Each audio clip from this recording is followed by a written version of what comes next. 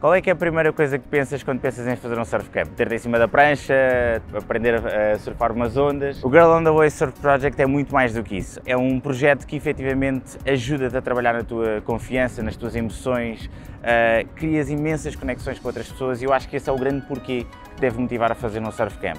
E em segundo lugar, acabas por poupar tempo dinheiro uh, e risco acima de tudo, porque efetivamente por um valor acabas por ter todo um package de coisas que vai ser difícil encontrar noutro sítio. São as pessoas, são os jantares, são as festas, são as conexões, são as partilhas de mentes e experiências, são as caminhadas na, na praia, uh, os pôres do sol, uh, as sessões de yoga e mindfulness de manhã. É todo um conjunto de coisas que vai preencher por dentro, assim como preencheu a mim. Portanto, acabou por mudar a minha vida e eu espero que caso faças este, este surf camp, acabe também por mudar a tua. Portanto, vem à Ericeira uh, e, vem, e vem ser feliz. Tranquilo?